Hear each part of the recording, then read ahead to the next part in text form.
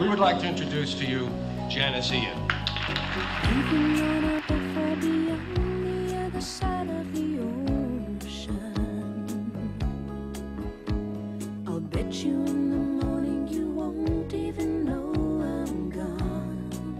I believe in the power of art, Janis Ian once said.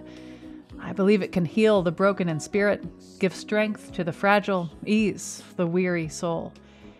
For decades now, Janis Ian's art has done exactly that for countless fans around the world. For Ian, songwriting began at the age of 12. Raised on a farm in New Jersey, Janis Eddy Fink was attracted to folk music and counted Odetta and Joan Baez as her earliest role models. She changed her name to Janis Ian when she was 13. When she was 14, a guidance counselor realized Ian was happiest when she was writing. She told the administration I needed heavy counseling, Ian remembered. Then let me sit outside her office and write, instead of attending classes. In those sessions, Ian wrote a song about an interracial couple she'd seen on the school bus imagining the disapproval and hypocrisy of the women's family and teachers. She succeeded in recording and releasing the song, and soon left school to pursue her music career.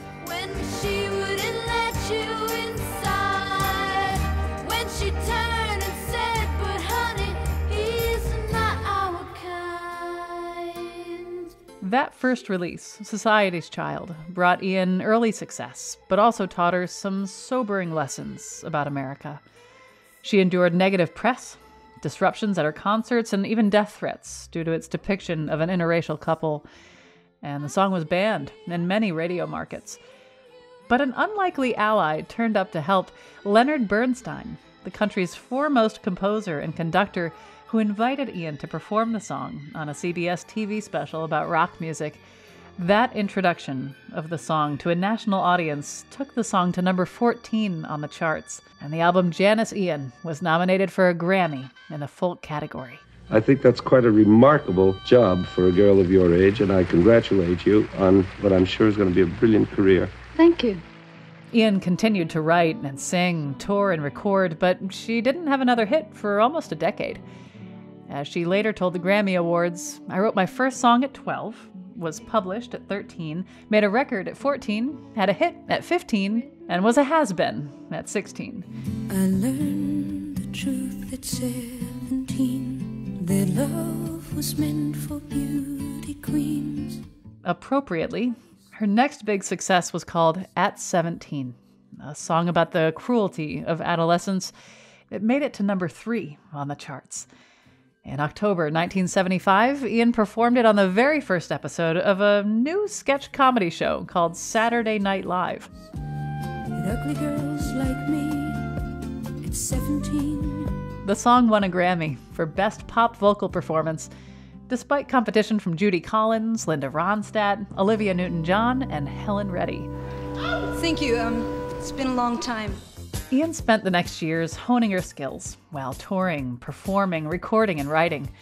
She wrote music for films like Foxes and The Bell Jar, and continued releasing albums and singles. They didn't yield any more hits in the US, although in Japan, Australia, and elsewhere, she charted regularly. Breaking with her major label, she effectively had a hiatus from recording, with no US releases between 1981 and 1992, largely due to a series of personal and financial setbacks. But nothing could stop the music. She summed it up in an interview with Guitar Player Everybody could take everything away from me, but they couldn't take my talent. Janis Ian's talent is, of course, prodigious. Her songs have been covered by artists as varied as Nina Simone, Spooky Tooth, Celine Dion, Camel, and even her early idol, Joan Baez. Her expressive singing won her that 1975 Grammy Award, along with many other awards and nominations. She notes that, as a woman, she gets less credit than she deserves for being a brilliant instrumentalist and band leader. But she doesn't let it bother her. As she told A&R Insider, Chick Corea thinks I'm a wonderful pianist. Chet Atkins thinks I'm a wonderful guitarist. How much does the rest matter? Ian applied all these talents to her 1993 comeback album, Breaking Silence. Sounding positive and empowered, she tackled tough and traumatic subjects like spousal abuse, incest, and the Holocaust. She also broke her silence about her own sexuality, confirming that my tilt is toward women.